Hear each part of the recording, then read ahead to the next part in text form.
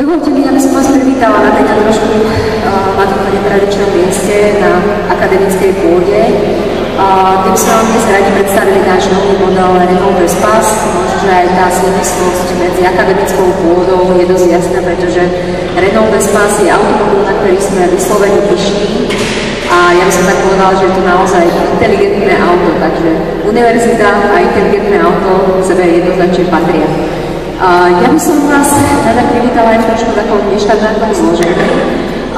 Rada by som medzi nami privítala automoto novinárov, vítajte priatelia. A zároveň by som medzi nami aj privítala zástupcov našej firemnej klientely.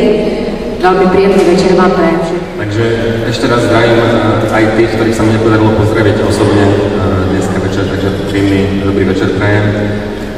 Osobne som naozaj úprimne veľmi rád, že vám dnes môžem predstaviť nový Espas, našu novú lajkovú loď.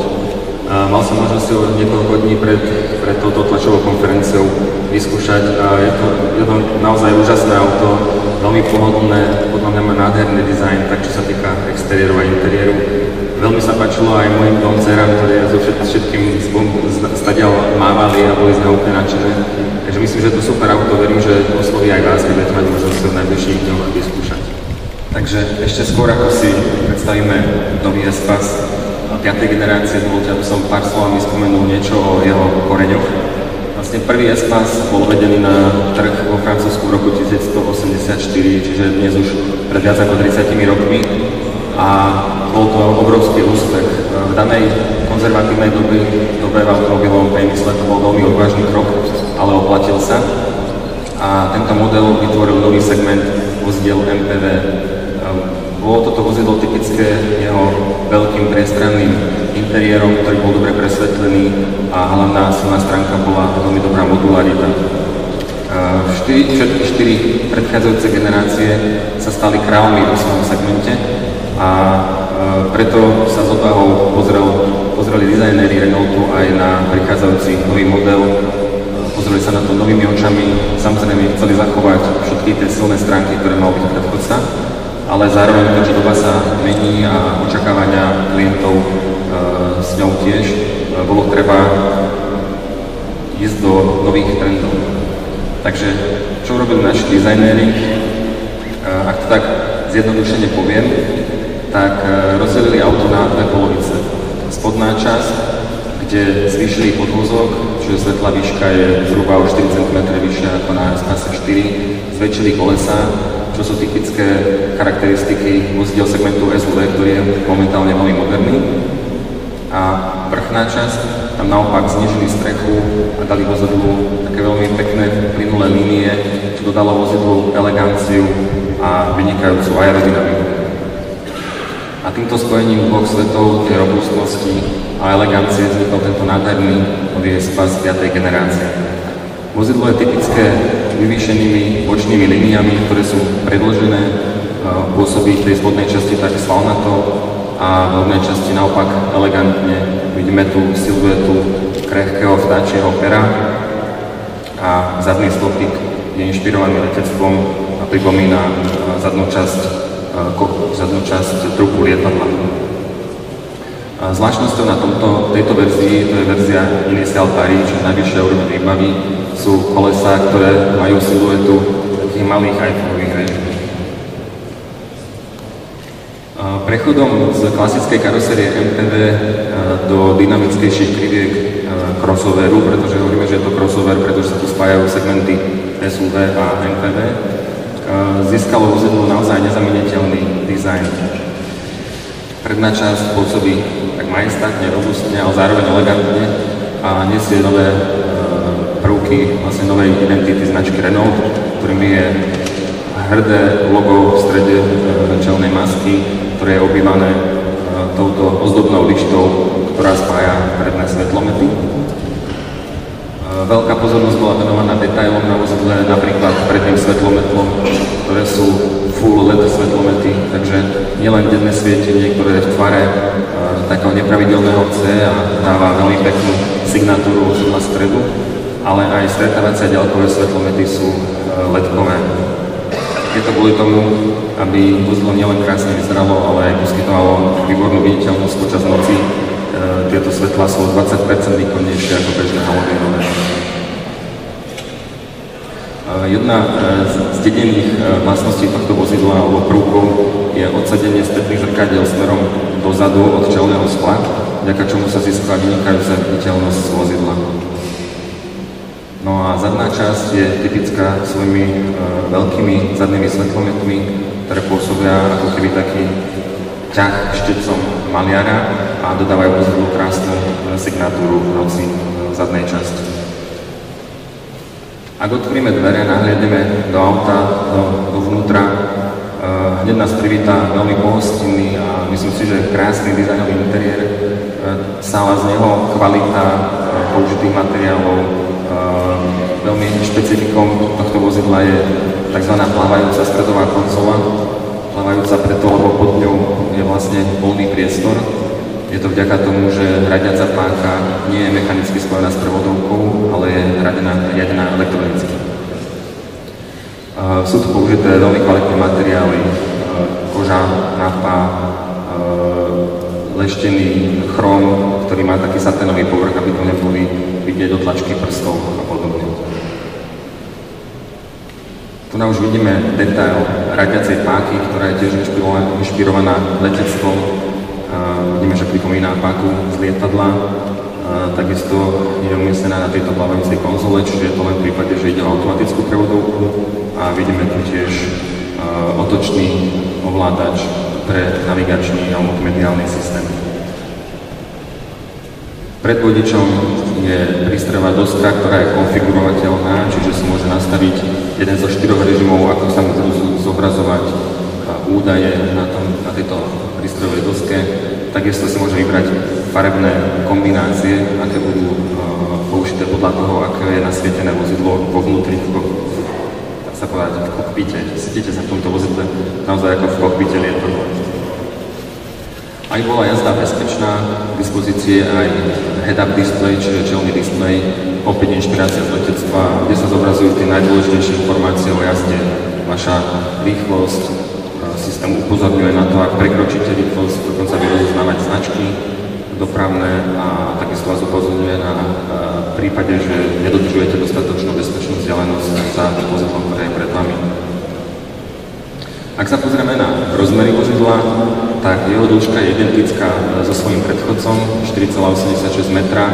Takisto je dostatočne priestoru aj vo vnútri na lakte, jeden z najširších priestorov vo svojom segmente 1,55 metra vpredu a 1,54 metra na zadných sedadlách. Čo sa týka výšky, tak vozidlo je o 6 cm nižšie ako jeho predchodca, preto dostáva také dynamické línie. Šírka vozidla je 1,87 metra v prípade sklopených alebo teda bez zrkadiel a 2,13 metra so spätnými zrkadlami. Ako som už spomínal, svetlá výška zrástla zo 120 mm na 160 mm proti predchodcovi, čiže o 4 cm. A vozidlo vďaka tomu, že narastol aj rázvor o 16 mm, tak ponúka dostatok priestoru na kolená vo všetkých sedadlách, ale obzvlášť v druhom rade, kde tento priestor 308 mm je jeden z najlepších v triede. Uh, jedna z najdôležitejších vlastností uh, Espace už od jeho prvej generácie bola vždy modularita. Tu ideme ešte ďalej, vďaka tomu, že sme zavedli systém, alebo použili systém One Touch, s ktorým je možné sklopiť jednotlivé sedadla okamžite stlačením jedného tlačidla.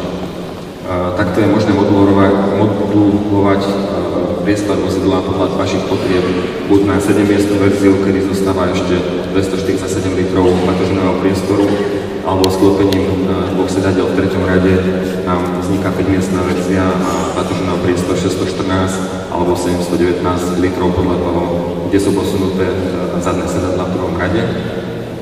A samozrejme je možnosť sklápať tie sedadla jednotlivé podľa potrieb. A pri sklopení všetkých piatich sedadiel v druhom a treťom rade vzniká dvojmiestná verzia a ešte ďalších 2035 litrov batožného priestoru.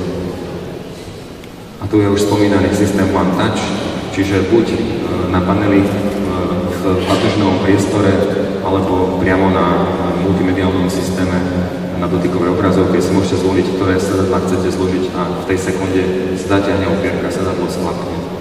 Takže e, veľmi praktická funkcia oproti predchádzajúcemu predchádzajúcim generáciám Espasu je to úžasné v tom, že predtým bolo možné sedadla vyberať, ale boli dosť ťažké, takže ľudia si vyberali tie sedadla naozaj vtedy, keď to bolo nutné a oni naopak vkladali do vozidla, kdežto na to môžete použiť za sekundu.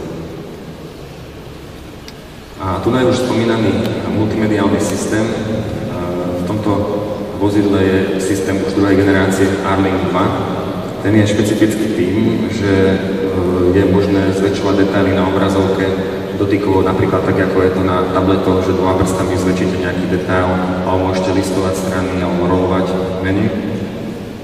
A je veľmi pekne umiestnený do tej plávajúcej stredovej konzoly, umiestnený v, vo výhľade vodiča, tak aby bol čo najbližšie zornému polu. Naopak ovládače išli pod tento systém, aby boli na dosah ruky. Ponúka funkcie, ktoré sú už v dnešnej dobe v Renaute úplne bežné, čiže prehrávanie multimédií, hudby z externých zdrojov, fotky, novinka, že tam môžete prehrávať už aj filmy, samozrejme nie počas jazdy, iba keď stojíte.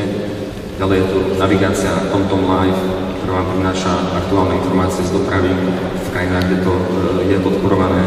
Samozrejme, je handsfree telefonovanie pomocou handsfree sady. Môžete si dosiahnuť kontakty nielen telefonické z telefónu, ale aj e-mailové. Potom ďalšie funkcie na ovládanie vozidla alebo prístup k novým aplikáciám. Ale čo je veľká novinka v tomto vozidle, a toto som si naozaj vychutnal pri skúšaní, tak to je systém Multisense, je to systém, kde máte predprogramované 4 e, režimy e, jazdy, šport, eko, e, neutrál a komfort a piatý režim je taký, že si môžete nastaviť sami, ako chcete, aby sa vozidlo správalo v jednotlivé jeho prvky.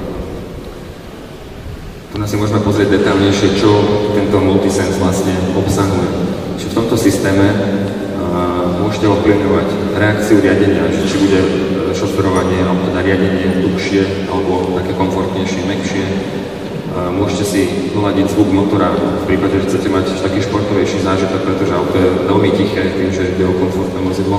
Môžete si pridať taký športovejší zvuk, reakcie motora, či chcete, aby jazdilo s veľkým zrýchlením alebo naopak, aby jazdilo ekonomicky. Takisto radenie, keďže tam je automatická prevodovka 6 stupňová alebo 7 stupňová, máte možnosť si nastaviť, či chcete radiť ekonomicky alebo s najvyšším výkonom, klimatizácia, nastavenie, elektronické nastavenie tlmičov, fantastická vec, obrovský rozdiel, či máte nastavenú verziu, teda režim komfort, kde je vozidlo naozaj pohodlné a môžete ísť trvať na D1 do Prahy a budete určite spokojní, alebo naopak si chcete dať športové tlmenie a v tom prípade vozidlo sa nenakláňa v zátačkách a, a jazdí naozaj veľmi pekne športovo. A napokon podvozok For Control, že podvozok s natáčaním všetkých štyroch kolies, ktorý takisto si môžete nastaviť ten for control, čo chcete, aby reagovalo viac alebo menej, skôr komfortne alebo skôr športovo. A potom sú tu veci, ktoré ovplyvňujú jazdu už nie čo sa týka jazdných vlastností, ale skôr nejakej atmosféry.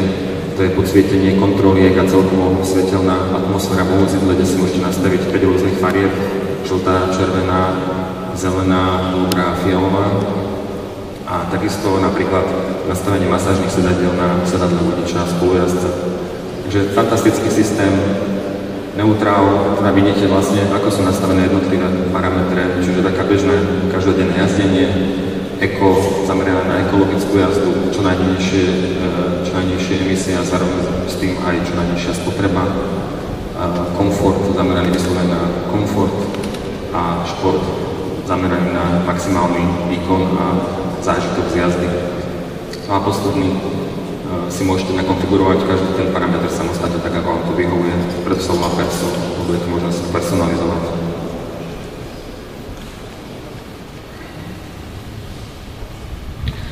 Tento multisense systém môžete ovládať buď priamo dotykom na Harlinku, alebo týmto otočným ovládačom na stredovej konzole.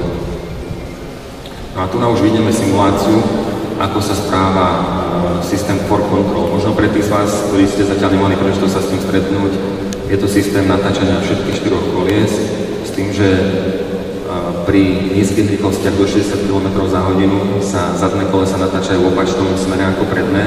Vďaka tomu sa s vozidlom veľmi dobre manévruje v úzkých uličkách alebo pri parkovaní. Naopak pri rýchlosti na 60 km, vidíme simuláciu Duna, sa zadné kolesa natáčajú v rovnakom smere ako predné a preto sa vozidlo v základách menej nakláňa a dokáže týmto základom prejsť oveľa rýchlejšie a bezpečnejšie. Tu vidíme aj porovnanie, ako sa ten Ford Control správa pri nastavení komfort a pri nastavení šport. Podobná simulácia e, pri elektronickom nastavovaní tlmenia tlmičov. Vidíme samozrejme, že pri komfortnom naladení e, sú tie tlmiče e, prúžia komfortnejšie, naopak pri športovom je to prúženie oveľa tušie a vďaka tomu zase vozidlo sa menej nakláňa. A tu vidíme, ako sa správa vozidlo pri nastavení komfort a šport pri automatickej prevodovke EDC pri rovnakom zošľapnutí plynu.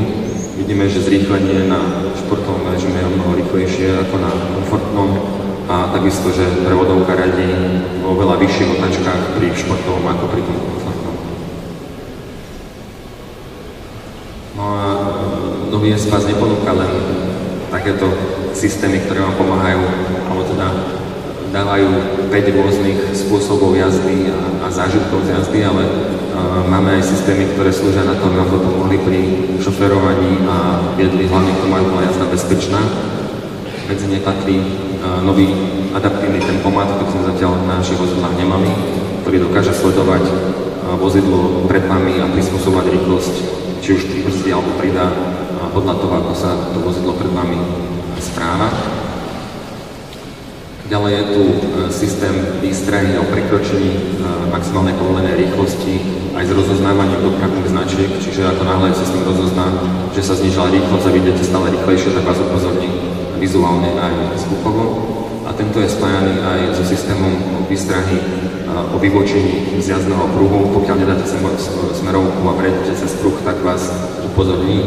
A takisto vlastne systém Vizio je spojený aj s automatickým prepínaním ďalkových a denných svetiel. Dokáže rozoznať, že oproti vám ide auto, sklopí ďalkové svetla, do, do, do stretávacích znakov. Ďalšou novinkou je výstraha o nedodržaní bezpečnostnej vzdialenosti, o bezpečnej vzdialenosti, ktorá je kombinovaná aj so systémom Active Emergency Braking System, čiže nejaký systém náhleho brzdenia, tento dokáže bez toho, aby šofer e, sa nejakým spôsobom pričinil začať brzdiť, ak e, zistí, že sa blíži zrážka s predchádzajúcim vozidlom alebo nejakým iným predmetom a brzdí, až kým nepreberie to brzdenie vodič. Funguje to 30 km. No a pre tých, ktorí možno mali rešpekt e, parkovať tak veľké auto, ako je Spas, naozaj v tom aute cítite, že to auto je veľké, tak je tu systém, ktorý pomáha parkovať, je to inteligentný parkovací asistent Easy Park Assist. Musím povedať, že myslel som si, že si bude vybrať len veľmi veľké miesta, že skrátka reálne to možno ak nemá nejaký veľký význam, ale poviem pravdu, že ak som ho testoval, som bol prekvapený, že si vybral také miesto, kde možno mnohí bežní šoféri by sa s takým veľkým autom ani neodvážili sparkovať a zaparkoval ho perfektne. Takže bol som milo prekvapený. E, možno, možno teda ešte dopoviem k tomu systému, že mm, dáte vozidlo, stlačíte, e, stlačíte tlačítko, že chcete využiť tento Easy Park Assist a auto e, dáte mu smerovku, aby vedelo, na ktorej strane má hľadať parking ono si nameria, nameria veľkosť toho parkingu, pokiaľ je dostatočne veľký, tak vám dá signál a zaradíte rýchlosť a pustíte volant a vozidlo už si samo natočí tam, kam potrebuje. Potom vám dá signál, že máte ísť dopredu, zase si zatočil a zase naspäť takýmto spôsobom. Čo je e, super na tomto systéme, že vie parkovať nielen pozdĺžne, ale aj kolomo, aj šikmo a vie a vozidlo aj vyparkovať. A tuto je aplikácia, ktorú už poznáme, volá sa EcoCoaching. Mali sme ju už aj na na kaptúre. Je to vlastne systém, ktorý vás vám meria, akým spôsobom jazdíte, či jazdíte dostatočne ekonomicky, ekologicky, vyhodnocuje vašu akceleráciu, vaše radenie rýchlosti, hlavne v prípade, že máte teda manuálnu prevodovku, ako anticipujete brzdenie a potom to nejakým spôsobom vyhodnotí a vám radí, ako môžete zlepšiť ekologickosť a ekonomickosť svojej jazdy. A aby bol zážitok z jazdy naozaj dokonalý, tak Real sa opäť spojil so spoločnosťou Bose a vyvinul jeden, jeden špičkový audiosystém, pre, ktorý je šitý na mieru pre nový Espas, volá sa Bose Surround Sound. A tento systém mení hudbu zo sterea na viackanálovú a vďaka nemu je špičkový zážitok v celom vozidle z hudby, nielen či sedíte vpredu, vzadu, naľavo, napravo, všade ten zvuk naozaj výborný. Naviac je tento surround sound bus spájaný aj s systémom Active Noise Control, ktorý dokáže eliminovať zvuk prichádzajúci zvonku kabíny a tým pádom je ten zážitok ešte lepší. Toľko, čo sa nachádza po vozidle, teraz si povedzme, čo sa nachádza pod kapotou. Takže k dispozícii máme tri motorizácie. Všetky tri motory sú s objemom 1,6 litra. Sú to špičkové motory, ktoré prešli, ktoré prešli downsizingom a všetky sú veľmi výkonné a úsporné. A prvým z nich, najekonomickejším, je motor DCI 130, čiže dieselový turbodiesel, ktorý je kombinovaný so 6-stupňovou manuálnou prevodovkou, je najekonomickejší nielen čo sa týka nadobúdacej ceny, ale aj prevádzky. Jeho spotreba priemerná rumana je 4,5 litra na 100 km a zároveň je aj najekologickejší z týchto troch. Jeho emisie CO2 sú 116 gramov na kilometr. Druhým motorom, e, čo sa týka nadobudacej ceny, je motor benzínový TC200. Je to zároveň aj najvýkonnejší motor. Je kombinovaný so 7 stupňov automatickou dvojspojkovou prevodovkou EDC.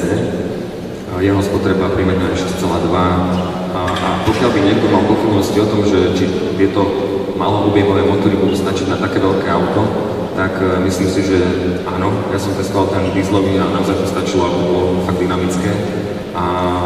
napríklad na tomto vozidle zrýchlenie z 0 na 100 je len 8,6 sekundy, čo si myslím, že je veľmi slušný výsledok na také veľké auto. Inak je to motor, ktorý už poznáte z Clio RS. No a posledným motorom je motor DCI 160 Turbo. Je to motor, ktorý už poznáme z nového trafika, ktorý sme predstavili pred niekoľkými mesiacmi. Je to špičkový motor kombinovaný so 6-stupňovou automatickou dvojspojkovou prevodovkou takisto je veľmi ekonomický, má 4,7 litra na 100 km, emisie 123 gramov a má výborný krúťací moment 380 Nm pri 1750 otáčkach na minútu. Ako funguje toto Twin Turbo? Je to nová technológia, ktorá prišla vlastne s trafikom. Máme tu V-turba, jedno menšie s malou zotrvačnosťou, ktoré začína točiť už pri nízkych otáčkach, neskôr ho doplní vo vyšších otáčkach veľké turbo. Vďaka tomu je tento motor DCI 160 ponúka vynikajúce a veľmi pekné plynulé zrýchlenie od nízkeho otáčok až po vysoké. A tu už je spomínaná rýchlostná páka, e, ktorá je používaná pri prevodovke DC. A táto rýchlostná páka, ako som spomínal, nie je mechanicky spojená s prevodovkou, ale elektronicky. Je to prebraté z vozidel Formule 1. Vďaka tomu je radenie veľmi rýchle, dokonale presne a veľmi plynule. Tu vidíme vlastne tri pohyby, ktoré môžeme robiť e, s takou zariadenie D, R a parking P. A čo je výhoda, že na, tomto, na tejto prevodovke alebo na tejto rýchlostnej páke je veľmi ľahký prechod z automatického režimu do, do e, impulzného Jednoducho stačí utlačiť páku dopredu alebo dozadu a vozidlo vám podradí alebo preradí na vyšší stupeň.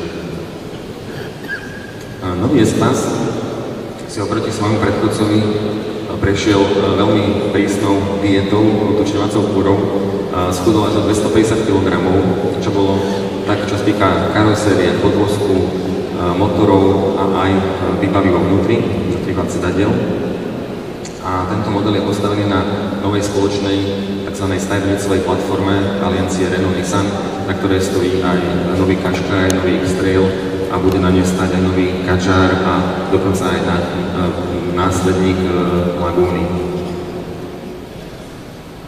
No a aby vozidla boli aj spolahlivé, nielen krásne a dobré, tak prešiel nový Espas e, neuveriteľne ťažkými skúškami, nabehal 5,5 milióna kilometrov, vlastne nasimuloval som priebehu, priebehu troch mesiacov trojročný nájazd kilometrov, prešiel 520 hodinami testov odolnosti, 450 hodinami testov klimatických a ešte žiadne auto nemalo tak ťažké testy, ktoré boli realizované aj priamo ľuďmi, napríklad 22 tisíc otvorenie dverí, nasadnutie do auta, vysadnutie, zabuchnutie dverí, aby sme vychytali naozaj všetky muchy, ktoré by mohli teoreticky neskôr prísť reálnym používaním. Tým, že to už teraz používali reálne ľudia, tak veríme, že všetky tie nuancy si vychytané a auto bude maximálne spolahlivé. Videli sme uh, sklapanie sedadiel, takisto bol vyvinutý špeciálny test, aby sa toto mohlo testovať, ak to bolo dokonalo spolahlivé. No a veľké investície boli uh, nielen čo sa týka personálu a nasadenia, ale aj finančne. Zainvestoval Renault 420 miliónov eur do fabriky v severofrancúzskom Due, kde sa vyrába nový S-Class a bude sa vyrábať aj ďalšie nové modely, napríklad aj ten spomínaný nástupca Laguny. Investovalo sa napríklad do nového, novej výroby e, plechov, ktoré sú zahrievané na 850 stupňov na niekoľko minút a potom veľmi rýchlo skladené, vďaka tomu sú tenké, ale o to odolnejšie. Aj to prispelo k tej nižšej váhe vozidla. Takisto sa zainvestovalo do e, lakovne, tak aby bolo tých 9 krásnych lakov, ktoré ponúkame na spase e, naozaj špičkovej kvality. E, urobil sa svetelný tunel, kde sa dokáže odhaliť každý malý detail na nedostatku laku. Takže investície boli obrovské, testy boli veľmi náročné a e, veríme, že nový Espas bude veľmi spolahlivým autom a naozaj e, bude tou našou vlajkovou loďou. Tu vidíme už takú čerešničku na torte, je to interiér vozidla Initial Paris. Vidíme tu tie veľmi pekné, kvalitné materiály. Tu je ešte lepšie vidieť tú plánajúcu konzolu, pod ktorou sú práce priestory. Použitá kvalitná koža NAPA a táto verzia je typická aj tým, že nesie označenie Initial na sedadlách, aj na ďalších prvkoch vozidla, volant, e, takisto na prahu dverí, na v prednej maske pod lobom, takisto v zadnej časti vozidla. Tu je špecifikum to, že Espas vo verzii Initial nenesie logo Espas, ale už iba logo Initial. No a táto špeciálna uh, verzia má jednu špecifickú farbu, je to táto čierna ametist, ktorá sa dá objednať len na tejto verzii a tieto špecifické vynikové disky z veľkosti 19 palcov. A určite vás zaujíma, koľko takéto krásne auto môže stať. Takže na Slovensku budeme ponúkať tri úrovne výbavy, Live, Zen a Initial Pi. Prvá úroveň výbavy Live bude kombinovaná s, s dieselovým motorom DCI 130 s manuálnou prevodovkou a jej cena začína na 28 990 eur. Verzia Zen bude ponúkať všetky tri motorizácie a verzia Initial Pari tie dva silnejšie motory, čiže benzínový TCR 200 a dieselový Energy DC 160 turbo kombinované s dvojspodkou automatickou prevodovkou. No a ako je už tradíciou na Renault na Slovensku, záruka, ktorú budeme ponúkať novom Espase je 5 rokov a je predlžená dĺžka nájazdy na 150 tisíc km. Takže toľko k predstaveniu tohto modelu. Verím, že vás oslovila, že sa už budete dočkať na skúšobné jazdy, ktoré budete mať určite možnosť v najbližších dňoch zrealizovať. A teraz, ak máte ešte nejaké otázky, tak sme vám samozrejme k dispozícii. Keď niekto má otázku, stačí zdvihnúť ruku a prídeme k vám mikrofónu. Jedna otázka priamo pred pódium. Chcem sa spýtať, či si Renault tak trošku týmto modelom nepripravuje cestu k zrodu prémiovej značky samostatnej? Ďakujem. Dobrý večer, je to presne tak, pripravuje si ho